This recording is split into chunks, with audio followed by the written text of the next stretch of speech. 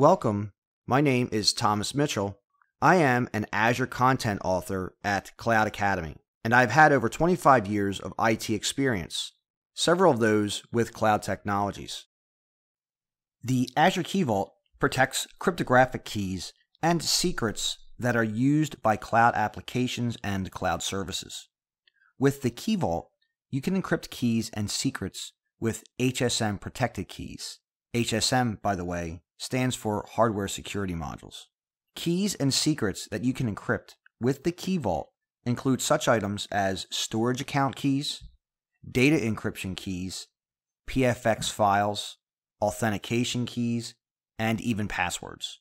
Leveraging Key Vault allows you to streamline the key management process, allowing you to maintain control of keys that are used to access and encrypt your data.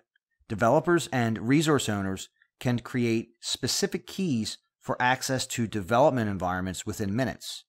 As a matter of fact, the keys created for development can then be seamlessly migrated to production keys if necessary. Security administrators, of course, can control access to keys by granting and revoking permissions to them.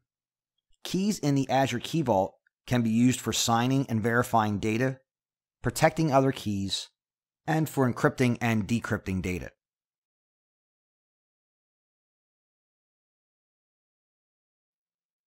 If you want the Azure Key Vault to create a software protected key for you, use the add Azure Key Vault key command. It's a relatively simple command and only requires a few switches. As you can see on the screen, I've got my PowerShell session opened. I'm connected to my Azure tenant already, and I have my Key Vault called Blue Widget Key Vault already provisioned. To create the new key in the Key Vault, I'm going to run the add Azure Key Vault key command. And with it, I'm going to specify the name of the vault, the name that I want to call the key that I'm creating, and whether I want to store the key as a software protected key or an HSM protected key. The command that I ran here creates a key named my first key in the key vault named blue widget key vault and it adds it as a software protected key as defined by the software value in the destination switch. If I wanted to store the key as an HSM protected key, I would have specified HSM as the value for destination instead. To view the URI for my newly created key, I just need to call the key ID that's stored in the key variable from this command above. To do that, I simply type key period ID. So essentially, I'm calling the ID attribute of the key variable. When I hit enter here, the URI of my first key is returned. This URI is significant because the keys created or uploaded to the Azure Key Vault are referenced by URIs. The fact that we can retrieve the key's URI tells us that the key creation has actually been successful. We can further confirm the existence of this newly created key by running the get Azure Key Vault key command and specifying the blue widget key vault and my first key. So what I'll do here is copy this command into my session here. As you can see, we've got get Azure Key Vault key, and we're simply specifying the name of the key and the vault name. When we hit enter here, you can see that the command confirms that my first key is stored in the vault.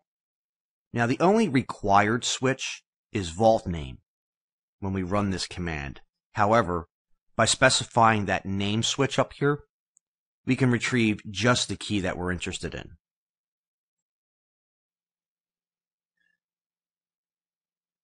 In addition to creating new keys, Azure Key Vault allows you to import existing keys as well. Since we've already worked through the process of creating a new key in the Key Vault, let's work through the process of importing an existing software protected key using the add Azure Key Vault key command. In this demo, I'm going to walk you through this import process. I have here in my keys folder a software protected key called swkey.pfx. This exported key is protected with a password. I used A123456Z exclamation point to secure this key when I exported it from my workstation. To upload this key to my Key Vault in Azure, I first need to store this password in a variable using the convert to secure string command. I can then access the key and import it from the PFX file into my Key Vault.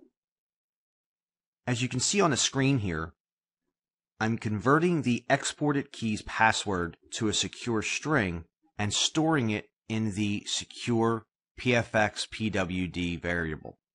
Hitting enter runs this command and it usually doesn't do a whole lot. We're just saving a value to a variable. However, when it finishes, I can then import the key from the PFX file by running the add Azure Key Vault key command that I'm going to paste into the PowerShell session right now. When importing a software protected key using this command, we need to specify the key file path and the key file password. The key file path switch references the path to the PFX file that we're going to import. The key file password is the secure password that we need to access the PFX file. That's the password we stored up here in the secure PFX PWD variable. Hitting enter here will create the key and store it in the vault. We can display the URI for this imported key by typing key ID at the PowerShell prompt. So we go ahead and type in our command here to pull up the URI for our newly imported key. And as you can see here, the full URI references my imported PFX. The my imported PFX key is the name of the key that we imported in our command. Now to view the actual key, we need to use the get Azure Key Vault key command. I'm going to go ahead and paste that command into our window here. And as you can see on your screen, this command is essentially identical to the one we used previously to view the newly created key, except in this case, we're just specifying my imported PFX as our key that we're interested in. We can go ahead and hit enter here, and what it's going to do is return some key attributes about our imported key. It's going to tell us when it was created, when it was updated, and it gives us the vault name along with the ID.